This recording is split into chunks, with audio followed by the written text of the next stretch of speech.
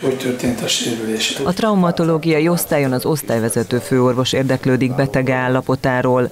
Ez a férfi csütörtökön került kórházba, miután a téli tűzifa aprítása közben baleset érte. Vágtam fát, és nem tudtam jól megfogni a flexet, amire rátettem ezt a korongot. Aztán a kőfrésznek ez ilyen kis korong. És úgy visszapattant úgy történt. Ez a művelet két ujját roncsolt az Zoltánnak, azonnal operálni kellett, ami szerencsésen végződött. Sokan azonban életre szóló károsodást szenvedhetnek.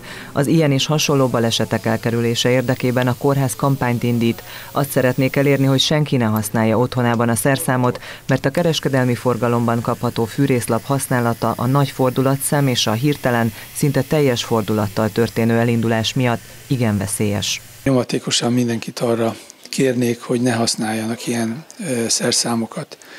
És ha lehetne, akkor talán még fontosabb lenne, hogy ne csak a lakossághoz érjen el ez az üzenet, hanem mondjuk a munkavédelmi hatósághoz, a fogyasztóvédelemhez és a kereskedő cégekhez, akik ha levennék a polcokról ezeket a fűrésztárcsákat, akkor sok baleset megelőzhető lenne. Szarvas József hozzátette, az elmúlt két hónapban 14 hasonló eset fordult elő a kórházban, jelenleg két súlyos sérültet is ápolnak a traumatológiai osztályon, de ezek a balesetek a végtagok amputációjába, sőt az ember életébe is kerülhetnek.